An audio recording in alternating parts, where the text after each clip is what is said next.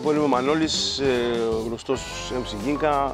Ε, εδώ και κοντά 20 χρόνια ασχολούμαι με τη μουσική σαν, ε, και την τέχνη γενικότερα σαν τραγουδιστής, ράπερ, στιχουργός, τραγουδοποιός, ενίοτε ηθοποιός, performer, με δισκογραφία, διάφορες συνεργασίες και γενικότερα με πολύ όρεξη για νέες, νέες διαδρομές μουσικές, νέες διαδρομές έκφρασης, νέους τρόπους έκφρασης, έρευνας, εξερεύνησης του του εαυτού μου, του ψυχικού μου κόσμου και εξερεύνηση του κόσμου έξω, βγάζοντας συμπεράσματα, παρατηρώντας τον κόσμο, θέλοντας να τα, όλες αυτές τις παρατηρήσεις και τα συμπεράσματα να τα περάσω στην τέχνη μου και σε αυτό που κάνω και γενικότερα να βγαίνει ένα ανθρώπινο ε, πρόσωπο, ένα πρόσωπο το οποίο θα εκφράσει την ανθρωπιά, την αγάπη, το θυμό, τον προβληματισμό, το μίσος, όλες τις εκφάνσεις ε, του ανθρώπου.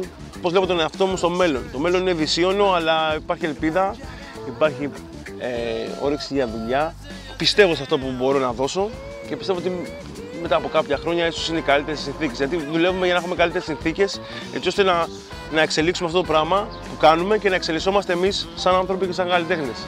Το θέμα είναι πάντα η εξέλιξη, το να πηγαίνεις μπροστά. Σίγουρα να νοσταλγείς και να βλέπεις τι έχεις κάνει, να κάνεις ένα απολογισμό το τι έχεις κάνει, για να παίρνεις δύναμη και να μην ε, μπαίνει σε, σε φάση μεμψημυρίας ή σε φάση ε, με χαμηλής αυτοεκτίμησης, γιατί όλοι σαν άνθρωποι έχουμε δημιουργήσει, σαν καλλιτέχνες, έχουμε δημιουργήσει πράγματα και αυτά τα πράγματα είναι τα παιδιά μας, ε, είναι η κληρονομιά μας, είναι ε, στη δικιά μας περίπτωση στη μουσική, που, στη μουσική και στο στίχο που κάποιοι ε, ακούγοντας τα κομμάτια μας έχουν πάρει κάτι. Και αυτό το πράγμα όταν ελευθερωθεί από σένα, είναι μεγάλη χαρά να το πάρει κάποιος και να το κάνει δικό του.